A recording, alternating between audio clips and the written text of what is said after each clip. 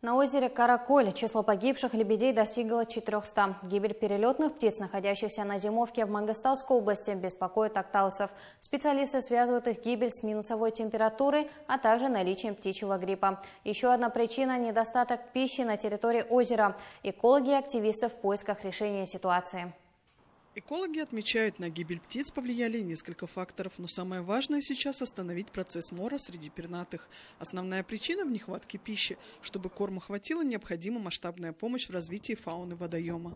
Можно сделать вывод, что э, молодые лебеди, они еще не набрали жир, поэтому они э, быстро теряют тепло, и поэтому от морозов они погибают быстро. А, но на будущее я бы э, рекомендовал местным исполнительным органам предусмотреть средства для подкормки лебедей э, во время зимних морозов. А, их можно кормить всякими мелкими ракообразными, например, креветками или же килькой, э, которая есть в свободном доступе. Бахтыгуль Жаксылыкова изучает караколь на протяжении 8 лет. При регулярном мониторинге отбираются пробы воды. За последний период показатели качества воды в норме, отмечают экозащитники. Но рацион в зимний период намного сократился.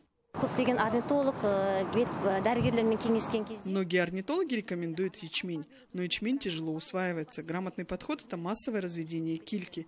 Блеск от кильки обратит на себя внимание молодых неопытных особей. Караколь, как и каспий, мелеет. Количество пищи, соответственно, сокращается. Естественного отбора выживают сильнейшие. По словам специалистов, в этом году на Караколь прилетело большое количество птиц. Если в прошлом году на зимовье прилетели 3,5 тысячи лебедей, то в этом году инспекторы лесного хозяйства насчитывают до 5 тысяч особей. Асель Канширова, Саламат Тавмуринов, Дидар.